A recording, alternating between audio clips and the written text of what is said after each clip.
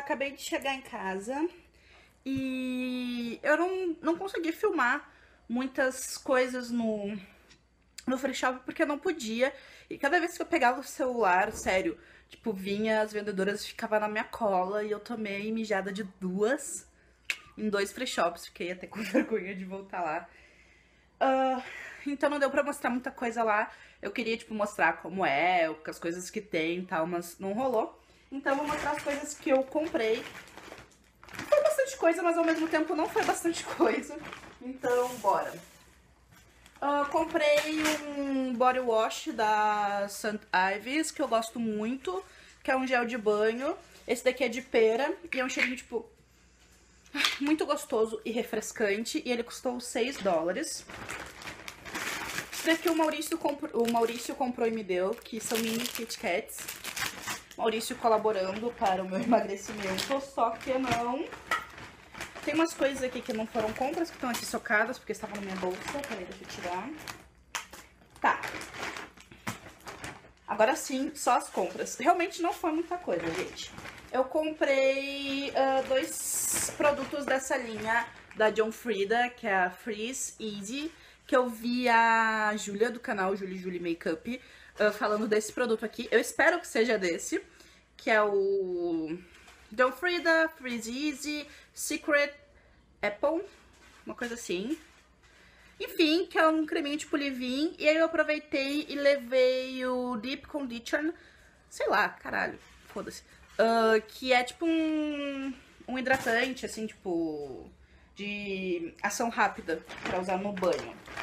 Aí eu comprei um creme Moroconoil de tampa laranja, porque eu tenho o de tampa marrom e o laranja reconstrução, inclusive vou usar hoje. Também de reconstrução, ah, eu paguei 65 dólares, tá meio caro os Moroconoils lá, tipo, o de 250 tava 65 dólares e o de 500 tava 93 dólares. E como eu uso pouquinho, isso daqui vai me render bastante, eu comprei o de 250, porque eu não queria gastar muito. Também comprei um Sebastian Penetrate, que eu paguei 28 dólares e 50. Mostrando rapidinho, porque né, é pro vídeo ficar rápido. Comprei uh, um shampoo e um condicionador da John Frieda, John Frieda, que é esse Radiant Red, que é pra ruivas. E eu paguei 7 dólares e 50 em cada um. E vale muito a pena comprar os produtos da John Frieda lá, porque aqui custa em média 40 reais um shampoo. Tipo, 36, 40, 44, já vi por todos esses preços. Então, e sai menos de 20 comprando por lá. E eu comprei apenas três maquiagens, que já me saíram bem caras, porque dois produtos foram da Dior e o dólar não tá ajudando muito. Uma coisa que eu comprei foi minha base One Two Three Perfect e ela me custou 24 dólares o que deve ter me saído uns 60 e poucos reais.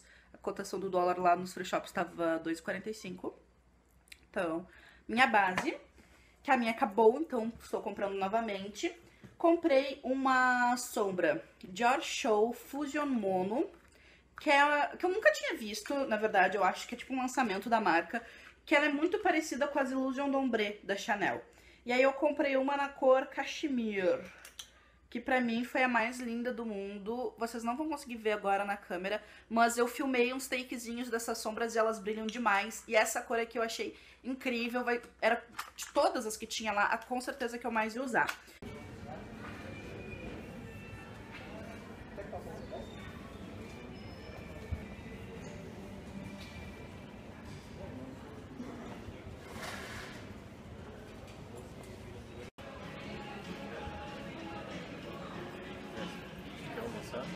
E ela tava custando 33 dólares, o que saiu 92 reais, se eu não me engano. E aí eu também comprei... Não, não foi 92 reais, foi mais barato, gente. O que saiu 92 reais foi esse batom aqui, que assim... Eu tô indo pra São Paulo e eu vi que na minha necessaire só tinha batom escuro.